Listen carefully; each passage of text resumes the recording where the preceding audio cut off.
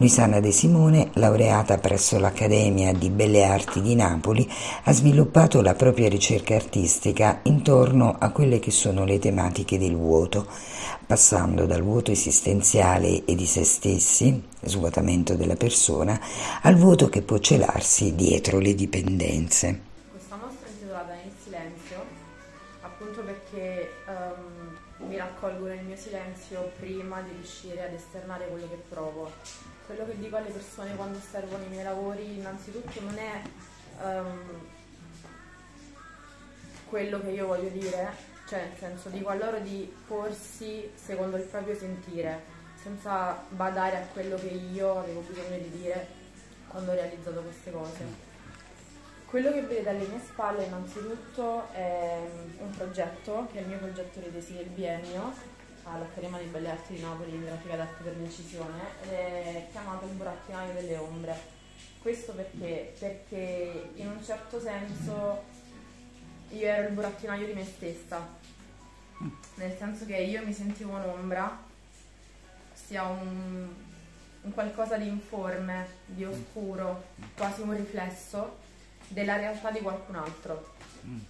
Infatti questo progetto eh, parla delle mie dipendenze e maggiormente della dipendenza affettiva.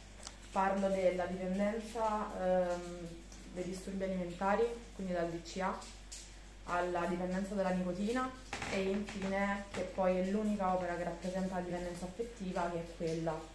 Allora, quella è la più importante ed è, è unica e singola dal centro ed è frammentata, quindi sono due parti, mm-hmm. perché, perché non ero io in quel caso.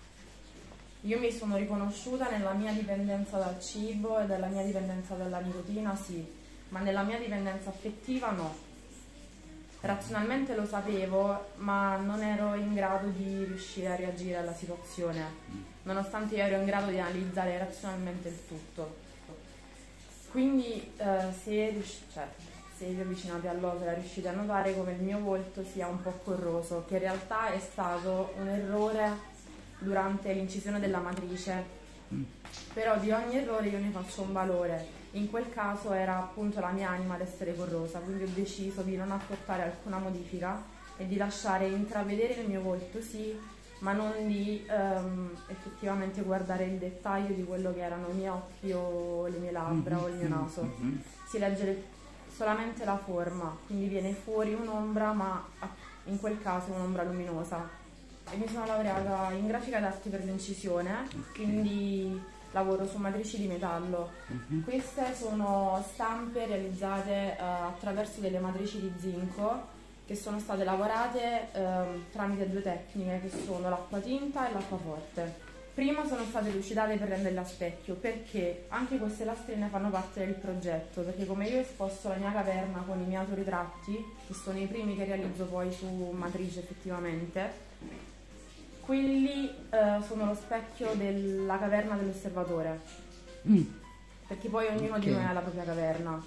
Io ho voluto rappresentare la mia che è svuotata dai miei mostri, dai miei demoni, da quelli che mi hanno seguito per anni perché consapevole di quello che avevo vissuto e ho deciso di rappresentarla con un tono caldo perché in, in fin dei conti poi è accogliente.